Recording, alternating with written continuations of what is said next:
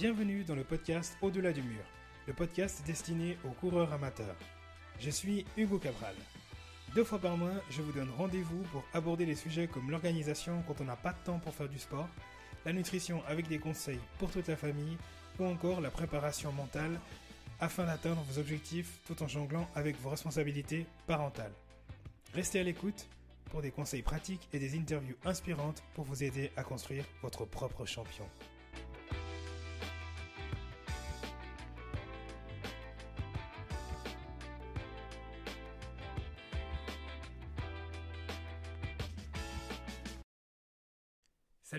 J'espère que vous allez bien. Aujourd'hui c'est le vendredi 25 août, je suis en formation euh, coach trail. Je vais enfin finaliser ma formation coach trail. Euh, je suis à Grand Montana, j'ai une vue magnifique sur les montagnes. Ils ont annoncé euh, les orages, mais on a eu de la chance parce qu'il n'y a pas eu d'orage du tout. On a pu passer cette première journée, l'après-midi dehors. On a fait une sortie, 4 heures, 10 km, 1000 mètres de dénivelé, juste parfait. Quelques petits mots sur cette formation. c'est une formation de 3 jours qui suit euh, une formation également de trois jours et deux jours qui a lieu euh, également, qui est donnée également euh, comme cours de base. Donc il y a des cours de base, bloc, formation pour les adultes. Et puis ensuite, il y a des modules de formation spécifiques qui permettent de se former soit pour la course à pied, soit pour le trail.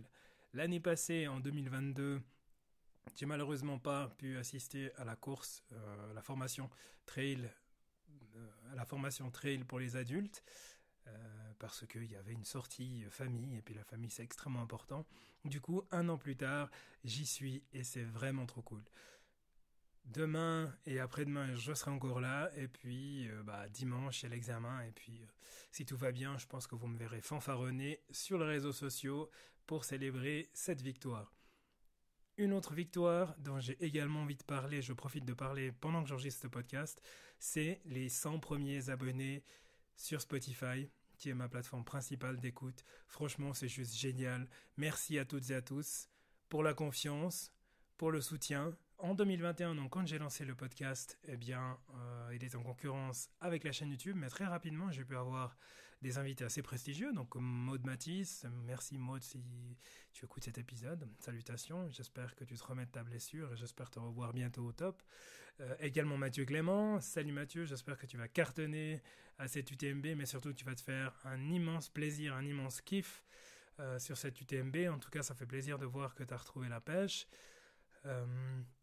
j'ai pu euh, euh, enregistrer des épisodes euh, pour la course Yerzinal. C'était un gros highlight aussi pour moi cette année. J'ai même participé du côté presse cette année pour alors couvrir l'événement. J'aime pas trop dire couvrir l'événement parce que finalement, j'ai pas trop aimé en fait le côté couverture d'événements sous cette forme-là, te retrouve dans une cage avec les autres personnes de la presse, et il y avait un gars qui était là, qui venait d'Amérique du Sud, le mec, il avait son portable, il avait sa batterie externe, il avait son micro, il live streamait sur la ligne d'arrivée la course avec des commentaires en direct, le mec il était blablabla, il était passionné, il balançait tellement de choses, c'était juste extraordinaire.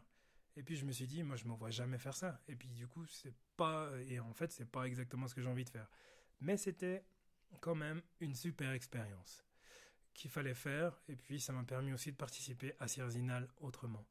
Autre également euh, conquête, je dirais, pour euh, le podcast, euh, c'est de pouvoir enregistrer Blaise Dubois, donc le fondateur de la clinique du coureur, quand il est venu donner une série de conférences en Suisse. par opportunisme, je savais qu'il venait donner une conférence à Fribourg. Bon, je connaissais euh, je connais la personne qui organisait les conférences à Fribourg, donc je me disais que je prenais pas trop de risques. Au pire, j'avais deux, canaux d'entrée. J'ai envoyé un message un jour à Instagram à Blaise, sur Instagram à Blaise, et bah, jetlag oblige. Je pense qu'il s'est réveillé, il a vu le message, il m'a donné son WhatsApp. On a programmé un enregistrement, c'était juste fabuleux. Maintenant, si on en revient au but de cet épisode de podcast. Je vois que je m'épanche un peu trop et il va, être beaucoup plus long que prévu. Le but de euh, cet épisode de podcast, c'est de fêter les 1000 premières écoutes du podcast Au-delà du mur. Le podcast Au-delà du mur qui atteint 1000 écoutes, bah, c'est, pour moi c'est un milestone parce qu'en fait c'est une concrétisation. C'est, euh, une concrétisation et c'est une confirmation que je, suis sur le droit chemin. Euh, il m'a fallu énormément de temps pour atteindre les premières 1000 vues. À l'époque où j'avais une chaîne YouTube, je l'ai toujours d'ailleurs, je l'ai renommée Au-delà du mur pour une histoire de cohérence, je vous en parlerai plus tard. Mais les premiers 1000 écoutes, ça veut dire qu'il y a quand même 1000 personnes différentes qui ont écouté mon podcast. C'est juste un truc de malade. Aujourd'hui, on doit être à 1700, 1800. Donc en fait, en 4 mois, euh, j'ai fait, euh, bah, fait 70% de ce qu'il m'a fallu 2 ans pour faire. Donc il m'a fallu 2 ans pour atteindre les 1000. Donc euh, je rappelle, j'ai laissé un peu le podcast de côté au début, donc il est en concurrence avec la chaîne YouTube. Et puis, dès le moment où je me suis consacré au podcast et puis j'ai apporté la régularité, vous m'avez récompensé avec les écoutes, et aujourd'hui, en plus, je suis en mesure de vous annoncer qu'on a atteint les 100 abonnés sur Spotify. Merci infiniment. Vous êtes juste extraordinaire. Je vous aime, je vous aime, je vous aime. Peut-être que je ferai un question et réponse aussi dédié à ces 100 abonnés Spotify. Sur Apple Podcast, c'est un peu plus timide, mais on s'approche des 50 abonnés. Franchement, je vous remercie infiniment pour tout. À l'occasion de ces 1000 euh, premières écoutes, j'avais lancé un question-réponse sur la page Instagram du podcast Au-delà du mur. Et puis, euh, bah en fait, je voyais qu'il n'y avait pas trop de monde qui répondait. Donc j'ai une petite confidence à vous faire. J'ai quand même fait appel à des personnes que j'aime bien et que je sais qui auraient été euh, d'accord de me poser quelques questions un peu chatouillantes. Et puis, je vous remercie euh, ici aussi d'avoir bien voulu jouer le jeu. Et je remercie aussi les auditrices et les auditeurs du podcast qui ont posé les questions. Donc je vais tâcher de répondre à toutes vos questions. Si c'est pas clair, envoyez-moi un message et puis on en discute aussi. Donc je commence avec la première personne qui a tiré, c'est Mr. Joe Black Running, que j'ai reçu justement dans un épisode de podcast. il me demande comment te vois-tu d'ici 2 ans, 5 ans, 10 ans? Hashtag vision à long terme. Eh ben mon cher Mr. Joe Black, bah, aujourd'hui je suis justement en formation trail à Grand Montana euh, par Swiss Athletics. Euh, donc si je me plante pas, je devrais pouvoir être certifié coach trail euh, dimanche. Donc j'ai pas envie de me lancer lundi comme coach trail. Euh, ça serait un peu incohérent par rapport à tout ce que je dis tout le temps, que j'ai pas le temps, etc. Mais par contre, ce qui m'intéresse dans cette formation trail, c'est d'avoir tous les éléments en tête auxquels doivent penser un entraîneur quand il accompagne des groupes ou quand il accompagne des personnes privées quand j'ai débuté la chaîne YouTube et même quand j'ai débuté le podcast, ce qui m'intéressait, ce qui m'intéresse toujours quand j'invite des experts, c'est que j'utilise leur expertise pour traiter des sujets en profondeur. Et puis je me suis rendu compte que c'était quand même compliqué d'avoir des gens disponibles pour venir parler de leur expertise. Alors je ne sais pas si c'est parce qu'il n'y a pas de sucre à la fin. Je comprends justement que bah, tout le monde doit manger, hein, c'est clair. Mais euh, je me dis qu'il y a des choses pour lesquels, eh ben, si je veux avoir les réponses, j'ai qu'à aller les chercher moi-même. Eh ben, typiquement, la vision à deux ans, eh ben, c'est de me former à fond dans tout ce qui est coaching trail. Donc, un premier palier devrait être franchi ce dimanche.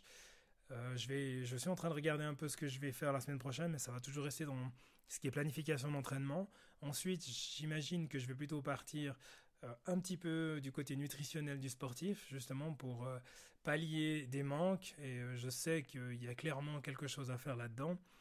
Et puis, bah, je dirais la vision à long terme. Ma vision, mon rêve, c'est de pouvoir intégrer cette composante coaching, course à pied trail dans mon quotidien. Pour le moment, je ne me fais pas de nos cerveaux. Je peux partager mes connaissances avec vous à travers ce podcast. Donc, je, vais continuer comme ça et puis euh, je verrai par opportunité s'il y a possibilité de faire quelque chose d'autre. Mais je suis très heureux avec ce que je fais aujourd'hui. Donc pour le moment, ça me va très bien.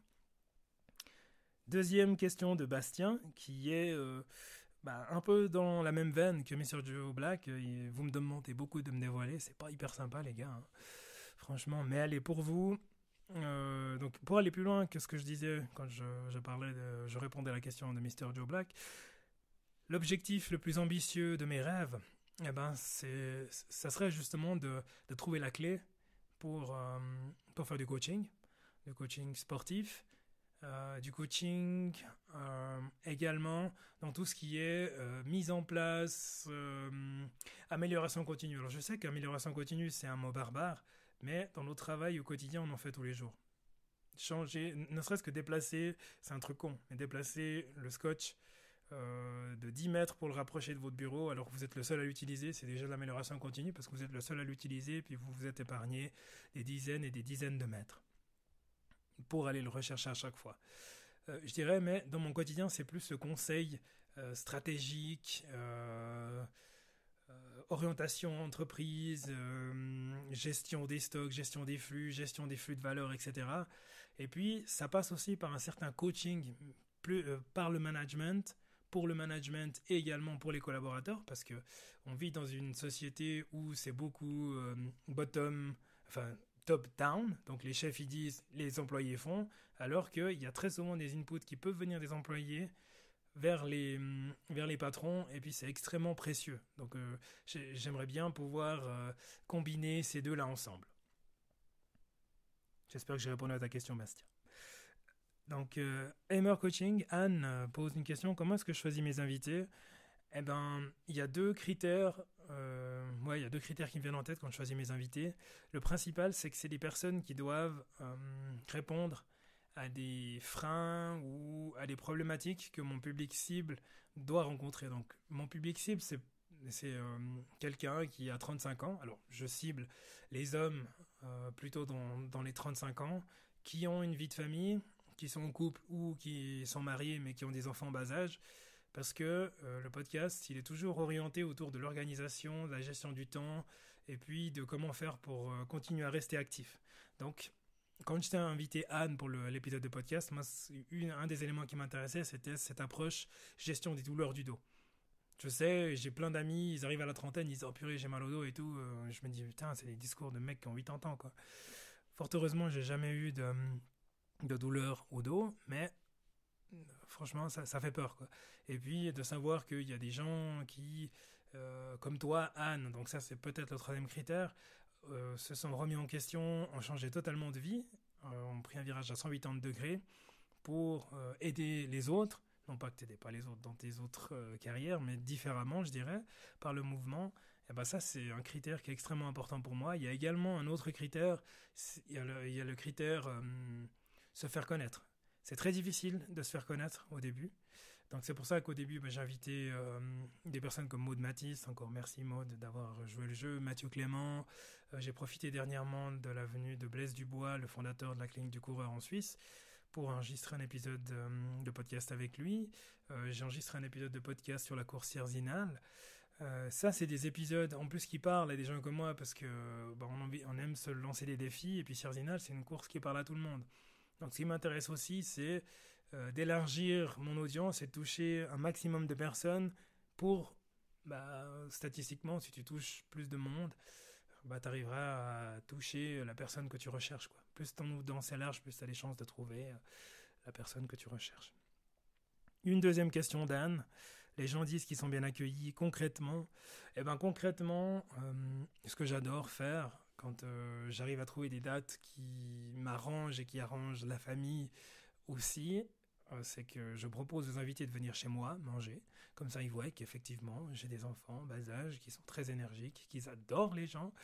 Euh, comme ça, bah, j'invite les gens chez moi, on prend l'apéro, on mange des spaghettis bolognaises, parce que je trouve ça génial. La pasta partie avant une course, on en reparlera une autre fois, mais c'est quelque chose de légendaire. Du coup, bah, on fait la pasta party avant l'enregistrement de podcast chez Hugo. La banane psychonutrition, donc euh, ça c'est Isabelle euh, qui pose la question. Je n'ai pas la motive de me remettre au sport, je fais comment? Eh bien Isabelle, je te dirais d'écouter euh, l'épisode numéro 18 du podcast Au-delà du mur où je te dis comment trouver une source de motivation qui dure toute la vie. Parce que trouver une, source de motivation pour se lancer dans le sport, alors j'ai jamais fumé, mais euh, il y a des gens qui arrêtent de fumer du jour au lendemain, même s'ils disent bah, c'est du jour au lendemain, il y a quand même quelque chose qui les a poussés à le faire, même si ils ne le savent pas euh, ou ils cherchent pas à le savoir, il y a quand même eu une impulsion, un déclic, un changement au niveau de la carrière, un changement au niveau de la vie, ils ont entendu quelque chose, où il y a une prise de conscience. Donc je dirais, si tu n'as pas la motive et qu'il n'y a aucune prise de conscience, c'est extrêmement compliqué de changer les choses. Par contre, s'il y a une prise de conscience et une volonté de changement, la pire chose à faire, c'est de vouloir te dire bah, je vais courir Cerzinal demain alors que j'ai jamais couru. Ou alors je vais faire un marathon alors que j'ai jamais couru. c'est de nouveau le truc extrême de la cigarette qui fait que bah, tu vas te blesser et puis tu vas retourner à la case canapé très rapidement. Donc c'est progressivité, mais surtout euh, une étincelle qui dépend 100% de vous. Donc ne vous mettez pas à faire du sport pour faire plaisir à quelqu'un ou pour changer la perception que quelqu'un a de vous, parce qu'il suffit que cette personne elle s'en aille et qu'elle soit plus là, pour que cette source de motivation parte. Retour à la case canapé. Je dirais, pour reprendre un des exemples que je prenais dans l'épisode de podcast où euh, je parlais des sources de motivation, c'est par exemple euh, celui qui se dit qu'il va arrêter de fumer parce qu'il y a sa petite fille qui dit ouais papa euh, j'aimerais bien que tu arrêtes de fumer parce que j'aimerais que tu sois là pour me conduire à l'hôtel le jour de mon mariage. Même si les enfants ils n'ont pas forcément la perception de bah, de euh, la mort, euh, de ce que ça représente vraiment, mais ils, ils savent c'est quelque chose de nocif, nocivité, donc euh, nocivité amène à la maladie, à la mort, donc ils se disent ouais j'ai pas envie que tu partes. Donc ça c'est une source de motivation extrinsèque mais très forte parce qu'on n'a pas envie d'abandonner les gens qu'on aime.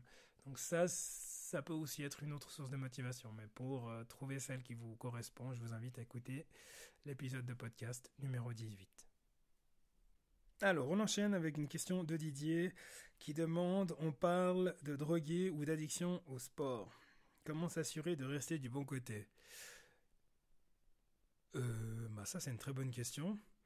Bah, je serais tenté de te dire que rien ne me dit que je sois moi du bon côté ou que toi tu sois du bon côté. Donc fondamentalement, euh, je dirais aussi longtemps que tes proches, euh, ils te font pas t'asseoir sur un canapé euh, devant eux, euh, ils sont tous autour de toi, je pense que ça se passe bien.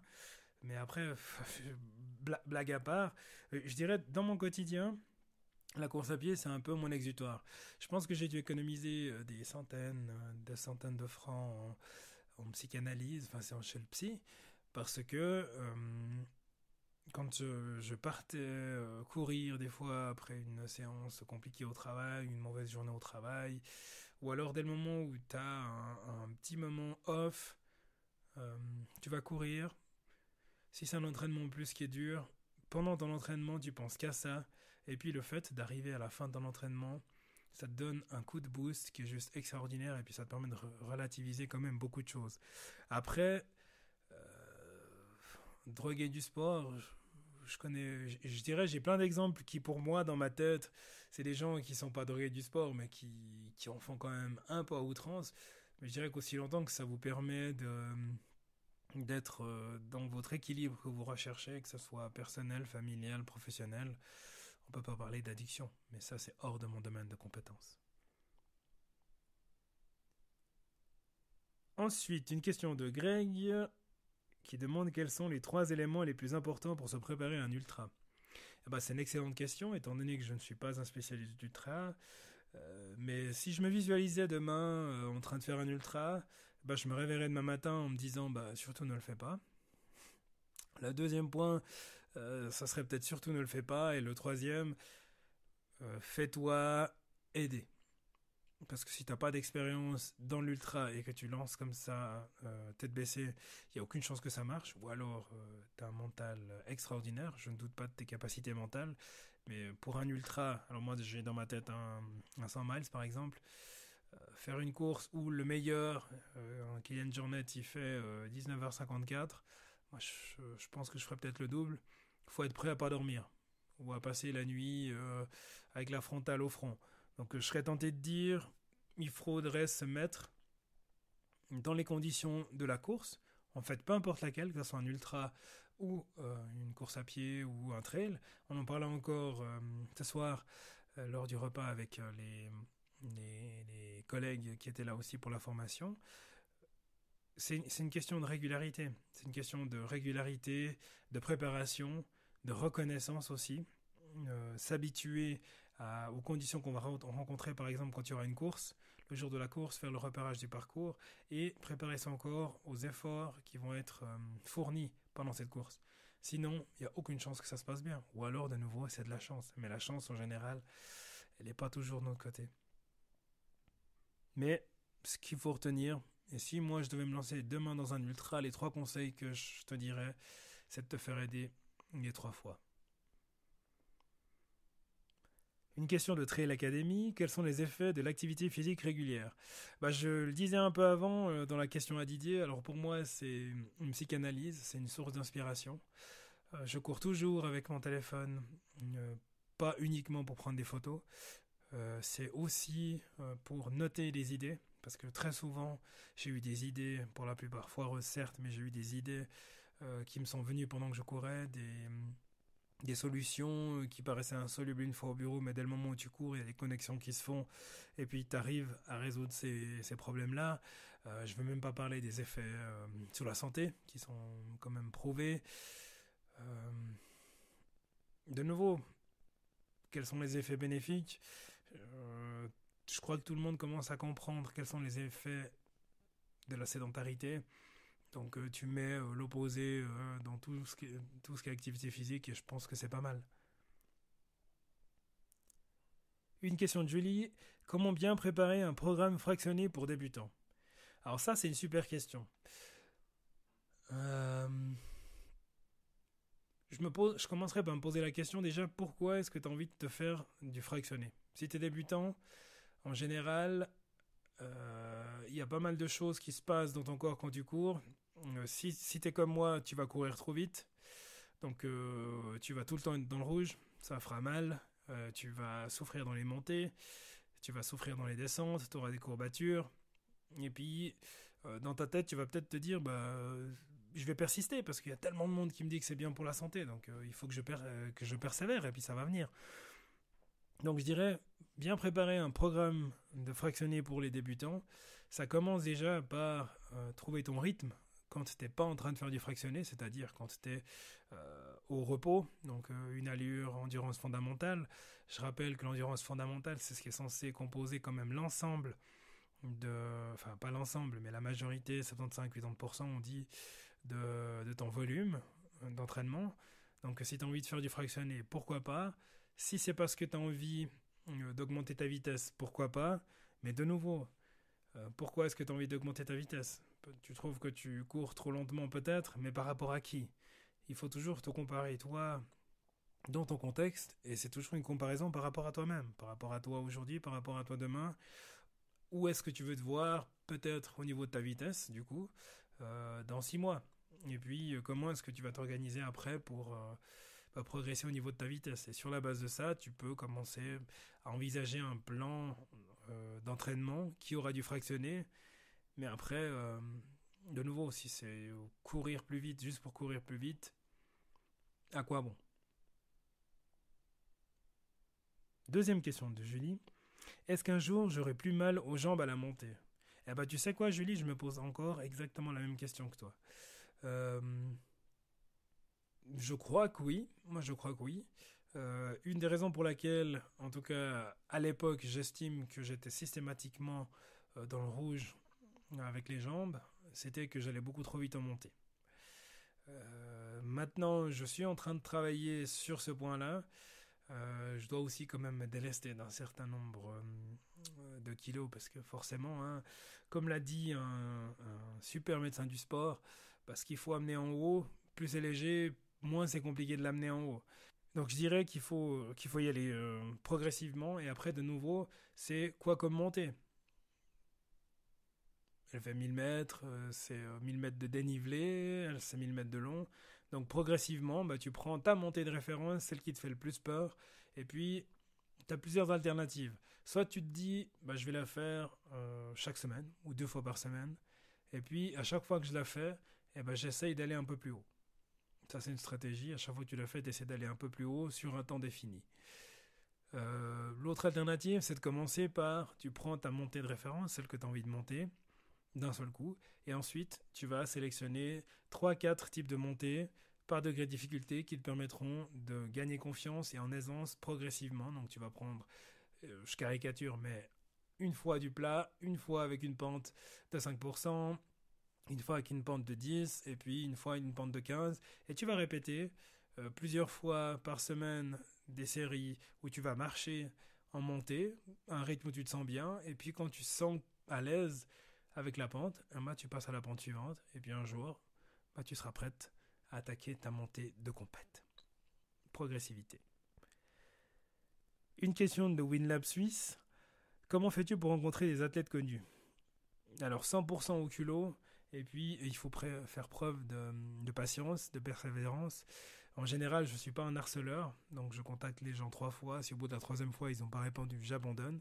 Et ce qui est surprenant, c'est que c'est les personnes qu'on croit les plus inaccessibles qui le sont peut-être moins. Alors, j'ai toujours pas réussi à avoir Kylian Jornet sur le podcast. Kylian, si tu nous écoutes.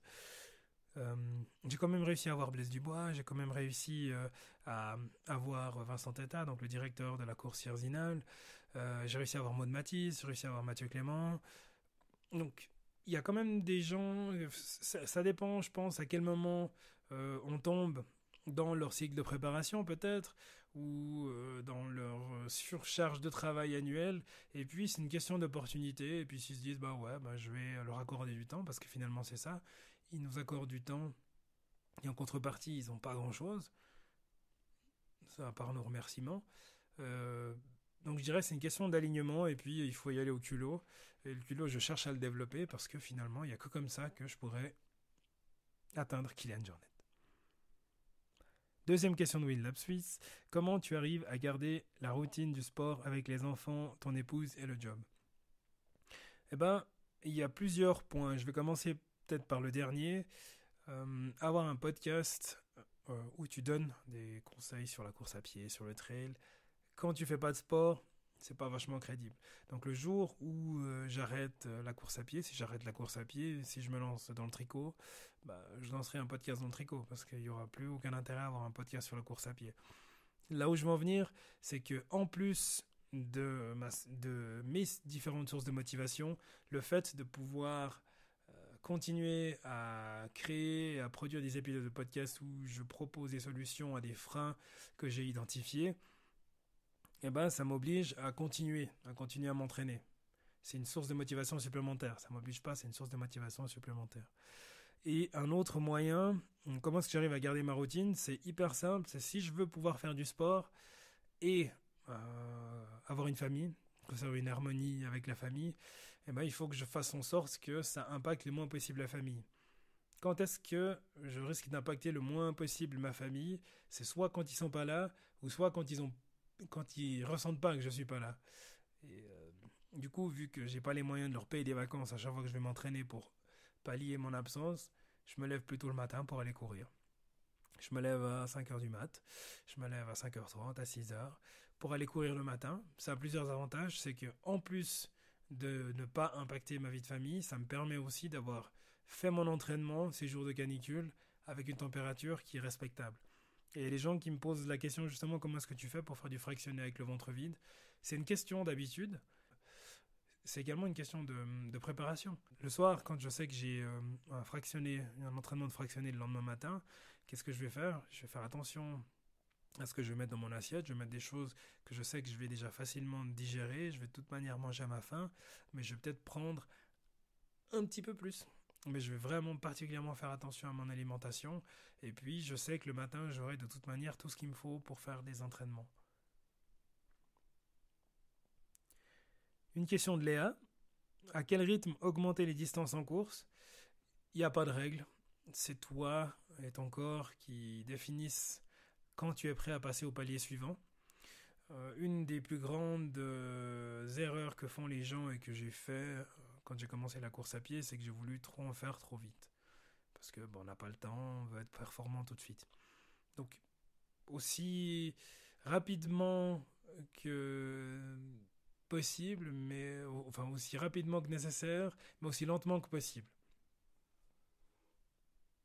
Et ça aussi, il faut partir du principe que ton corps il doit s'adapter, il doit supporter les distances à laquelle tu vas courir. Si tu cours toujours, enfin si tu fais que de l'endurance fondamentale, donc tu cours pour le plaisir, pour la beauté des paysages, tu t'arrêtes pour prendre des photos, eh ben si tu as un tour type, en fonction de la distance de ton tour type, progressivement, euh, on, dit, la théorie il dit euh, pas plus de 10% je crois par semaine.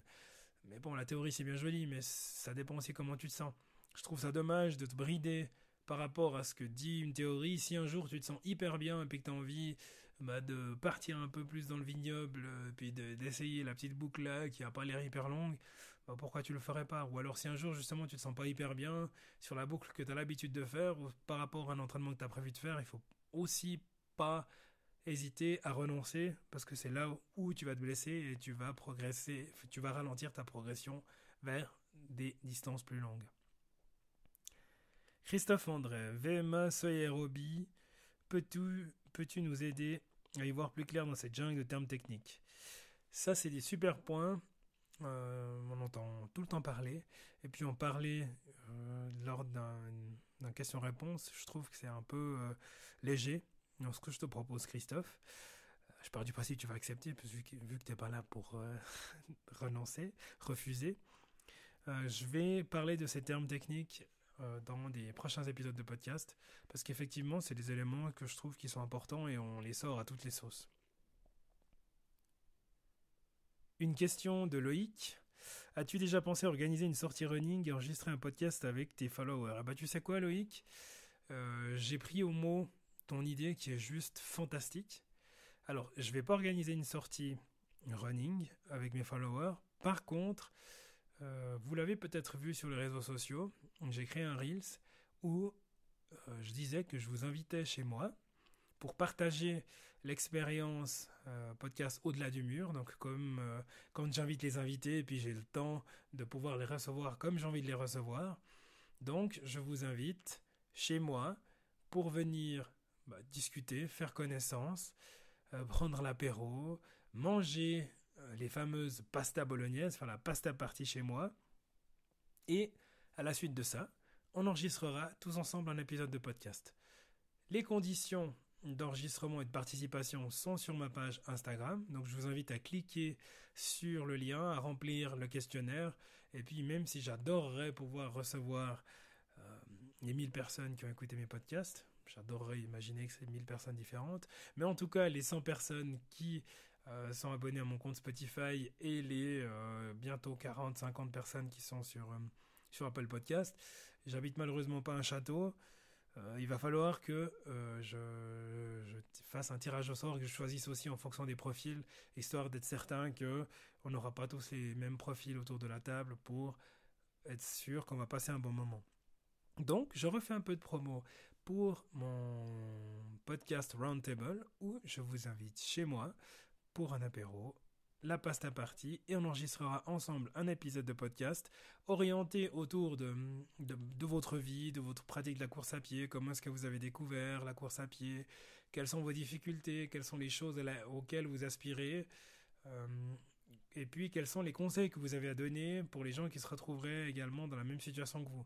Donc en plus d'être hôte d'un podcast, vous avez aussi une expertise qui vous est propre, que je vous inviterai à partager pendant cet épisode de podcast. Allez, inscrivez-vous. Une question d'Emilie. Quelle est ta prochaine course prévue? Alors cette année, j'avais un objectif, deux objectifs principaux, qui étaient euh, Sierzinal. J'ai malheureusement pas pu m'inscrire parce que je m'y suis pris une heure trop tard, donc il y avait plus de dossard. Euh, j'avais un plan B et puis en fait j'ai renoncé au plan B parce que ça faisait pas de sens pour moi de participer au plan B parce que je voulais en fait faire Cerzinal. Et la deuxième course à laquelle j'ai prévu de m'inscrire, c'est Mora Fribourg. Alors Mora Fribourg, je vais pas la faire cette année parce que j'ai prévu de me marier, c'est une super excuse. Par contre, l'année prochaine, ma chère et tendre femme courra Mora Fribourg avec moi. Donc c'est quand même pas mal. D'ailleurs, euh, comme ça, ça lui met un peu de pression, ce sera juste génial. Et puis, un autre élément aussi euh, bah, que, j'aimerais préciser par rapport au plan des courses, c'est que je me suis rendu compte de plusieurs choses quand on a des enfants euh, en bas âge qui font pas leur nuit. Déjà, tenir un, trouver du temps, c'est compliqué pour s'entraîner. Trouver la motivation pour se lever, pour aller s'entraîner alors qu'on s'est levé déjà six fois la nuit euh, pour les enfants parce qu'ils n'étaient pas bien, c'est pas évident. Donc suivre un plan d'entraînement, c'est hyper compliqué. Ce qui faisait que j'ai très souvent participé à des courses. Alors je j'avais pas des courses, j'avais pas des programmes d'entraînement spécifiquement pour ces courses-là, mais euh, j'étais pas prêt. Euh, enfin j'étais pas prêt de toute façon pour ces courses-là, mais j'étais pas pas prêt en tout cas. Euh, ça s'est tout, ça, c'est heureusement toujours bien fini pour moi parce que je dirais, je me suis jamais blessé, j'ai jamais abandonné. Par contre, je me suis promis de plus participer à une course pour laquelle j'étais pas préparé. Donc, euh, si j'ai une opportunité, un truc à l'arrache, ça dépend de la distance. Jusqu'à 10 kills, je peux faire parce que je sais que ça passera. Mais euh, j'aspire plutôt à des courses euh, un peu trail, courses de montagne, pas d'ultra, en tout cas pas tout de suite. Enfin, ça m'intéresse pas plus que ça. Mais plutôt les courses de montagne, des trails, 20-30 km qui me permettraient de suivre un programme d'entraînement qui impacte pas trop mes multiples casquettes mais aussi un plan d'entraînement bah, où je vais pouvoir m'épanouir et puis euh, performer aussi par rapport au niveau que je me fixe. Voilà, c'est euh, le podcast a été euh, plus long que ce que j'avais imaginé. Je me suis fixé une limite, je me suis dit 30 minutes, pas plus. Et puis en fait, je vois que j'ai parlé beaucoup plus longtemps. Mais je crois que c'était important de donner la réponse la plus complète euh, possible aux questions que vous avez pris la peine de me poser. Donc je vous remercie vraiment beaucoup. C'était un super exercice, j'ai adoré le faire. Euh, peut-être que j'en ferai un pour les 2000 euh, écoutes du podcast ou un peut-être plutôt pour les 100 abonnés Spotify parce qu'en fait j'adore vos questions et ça me permet aussi de savoir quelles sont les, les, questions pour lesquelles vous n'avez pas, pas encore trouvé de réponse ou alors qu'est-ce que vous aimeriez savoir sur la personne qui vous parle depuis bientôt deux ans sur ce podcast? Donc avant de vous laisser, je profite encore de refaire la promo pour l'épisode de podcast que j'ai envie d'enregistrer au mois de novembre avec vous. Donc je vous invite chez moi pour participer à cette soirée où il y aura, on sera 5-6 personnes autour de la table, pas plus. Comme ça, on peut garder une atmosphère un peu intimiste, avec des profils qui se complètent.